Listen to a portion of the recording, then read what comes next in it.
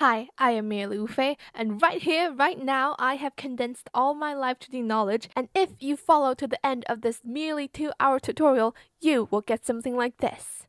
I feel like I'm giving away too many industry secrets, bro. I feel like I'm giving back to the community, I'm contributing to society, and all I ask is for you to remember my name, Merely Wufei.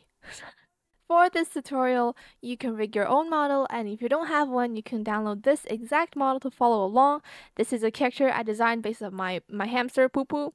The PSD is free and the rigged Live2D file, which is called the CMO3 file, is $10, all in my Ko-fi link below. Please use them for educational purposes only. I better not see a color change Poo Poo streaming a Donathon. So download the Live2D program at their official site called Live2D Cubism and for this tutorial, I'm using the Pro version, which you can get a 42 days free trial for.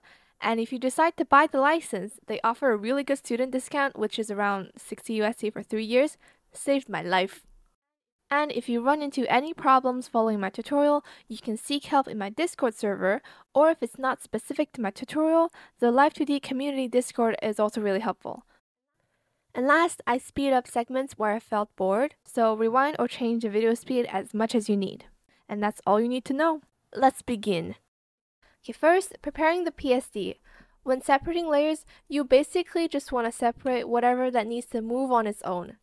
A lot of it will be personal preference, but some places that I recommend separating is the face line, the face shadow, and the blush from the face base until your face base is one plain color.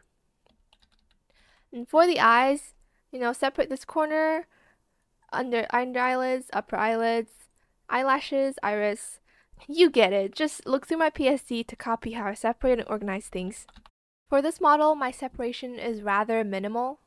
My naming is not the best because I'm lazy and I don't bother naming my parts left and right if they're an exact mirror because I can just copy and paste and flip it later.